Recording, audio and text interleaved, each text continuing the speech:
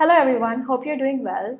My name is Stuti Chakraborty, and I'm an HPHR fellow. The name of my blog is Stroke Reimagined. Through my blog, I aim to raise awareness about this chronic, life changing, disabling condition known as stroke and how it can be tackled, in, especially with a focus on low and middle income countries. So, today I'm going to talk a little bit about a very personal and deeply life changing experience for myself through this vlog. To give you a background of what I do, I'm an occupational therapist, mainly a neurorehabilitation clinician, uh, working with many people with chronic uh, disabling neurological conditions. I recently completed my bachelor's degree, and ever since I started interning at the hospital affiliated to my institution, I have been exposed to a wide variety of people having a lot of neurological disorders. Uh, one of the main ones is stroke. Um, I have been dealing with a lot of patients and have been involved in the direct rehabilitation care and management of people living with stroke. So, as a professional, uh, I had I have always been on the other end of the spectrum of stroke. However, on October 20th, 2020, my life changed forever and there was a complete role reversal in what I had been doing over the past couple of years. And this happened when my own father had a stroke. He had a right middle cerebral artery area infarct, and it was an ischemic stroke. Uh, there are two major types of stroke, which can definitely be fatalistic depending on which arteries are involved, what is the cerebral vasculature involved, which parts of the brain are affected. Uh, but most commonly, ischemic strokes are lesser severe forms, and hemorrhagic strokes are more severe. And these are the two main common uh, types of stroke that can happen. So, my father had an ischemic stroke. Um, he has a history of diabetes and diabetes uh, and hypertension over the past 10, 15 years.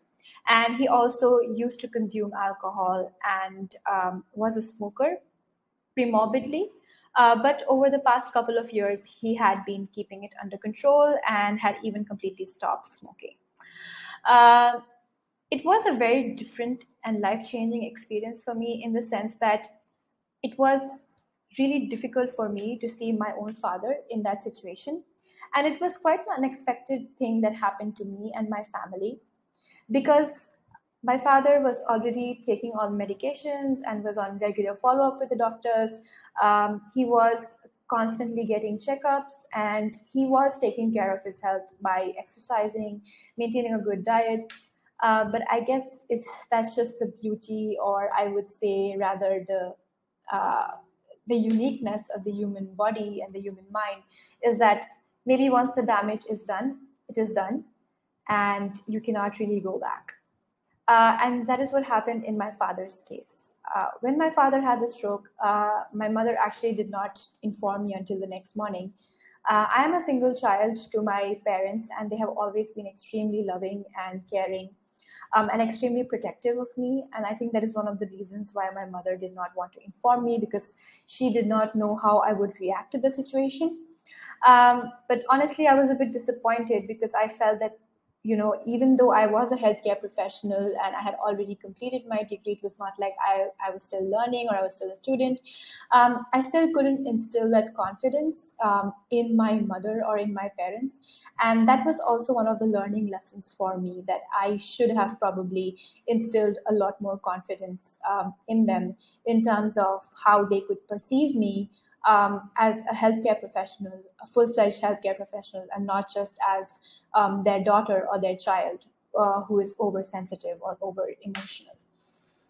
So once I found out about my father's condition, thankfully um, he did he was thrombolyzed early and he was uh, able to access medical care within two and a half hours of everything happening and he was already thrombolyzed quite early uh, but unfortunately, that is not the case for most people in my country, in India. So I completely, me and my family have been really privileged to have got that kind of social, monetary, um, and societal support uh, in terms of being able to get to the hospital early. After my father was thrombolyzed, he was kept in the ICU under observation and his blood pressure was monitored. There was some mismanagement with his medications because he had not been continuing on his um, Ecosprin, which is basically uh, a thinner, a blood thinner, and uh, we found out that it had been stopped for a while. and there was some confusion with that. Uh, however, it was again continued, and his hypertension medication was restarted, and uh, all of that was medically managed. And once he was stable, he was shifted out into the ward um, uh, where he was living. Uh, I rushed back home with the earliest flight that I could find because I live far away across the country uh, from my parents. Um, once I reached, of course, my mind started working as a clinician, and I started examining my father um, in whatever best way I could. But my mother told me not to pressurize him too much, and it was a very gray area for me. It was a difficult situation for me because I did not know what extent I needed to go to, and I think that's some uh, thing that we don't know where to set boundaries at being clinicians when it comes to our own family. Because we are so used to dealing with people um, or patients in an efficient and effective manner uh, when they are not related to us. However you you completely have a change of roles and your roles completely break down uh, because i was not just viewing him as a clinician but as a daughter. And i was seeing this as something that had happened to my family as opposed to somebody else's family. And that was quite a difficult um, circumstance to come to terms to. Um, so, having said that, my father did have a really good prognosis and did have a really good recovery.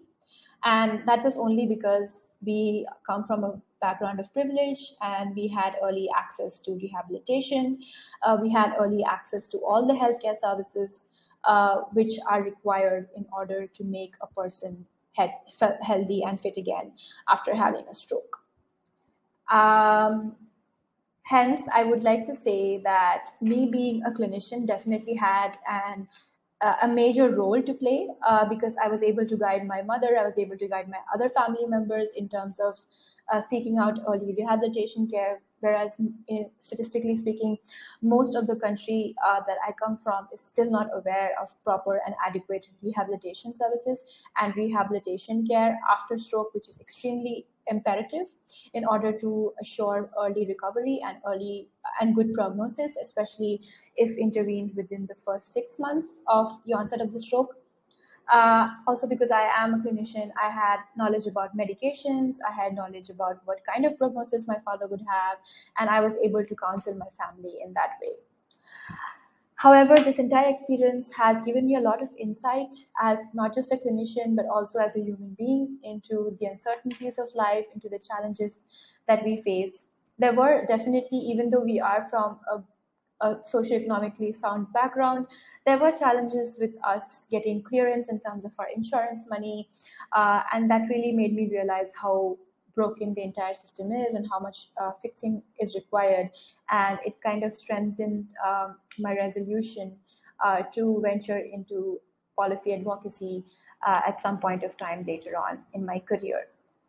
Uh, and hence, that really motivated me um, and it gave me uh, also it gave me insight into the functioning of the healthcare system uh, in different parts of the country um, how people respond to different challenges uh, and that also kind of opened my eyes uh, to the different challenges that are consistently uh, present in, within the system and that need to be tackled.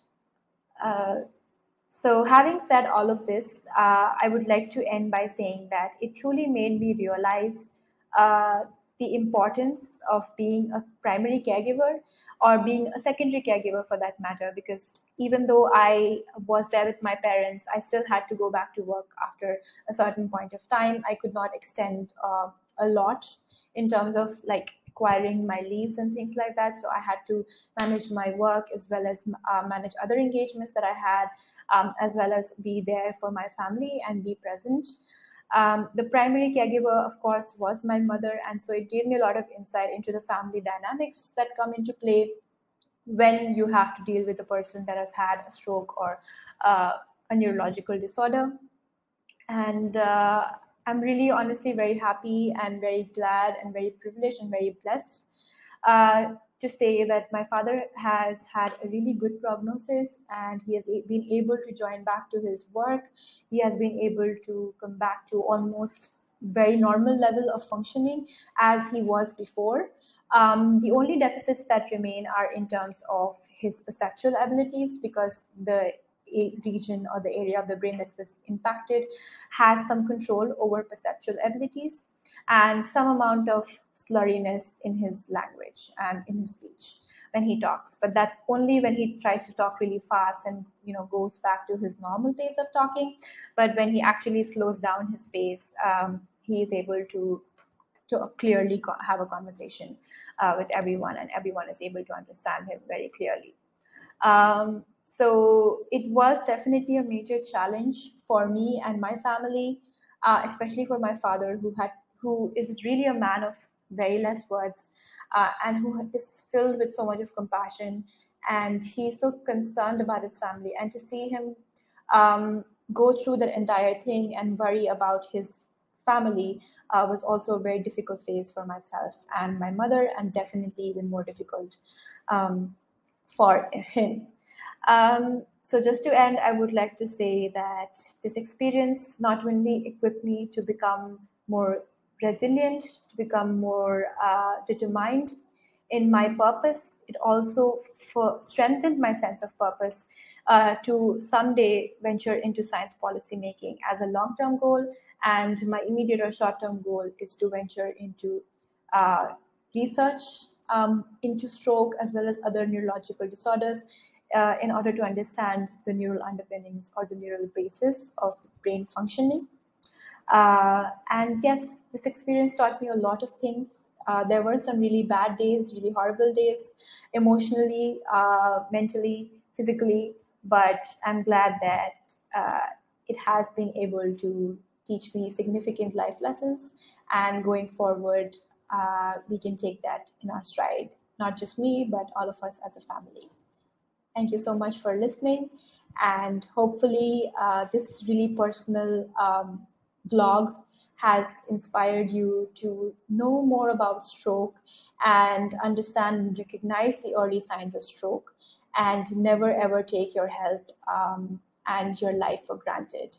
Um, I can understand that it might be difficult at times. Uh, I would be a hypocrite if I said that I'm also completely health conscious. I'm not. Uh, we so we tend to get absorbed with our own lives and day-to-day routines so much that we don't tend to regard so much for our health. Um, but I am trying to make small ways of change in my life, in my lifestyle. And I think that attitude is what really matters, and that determination to change is what really matters.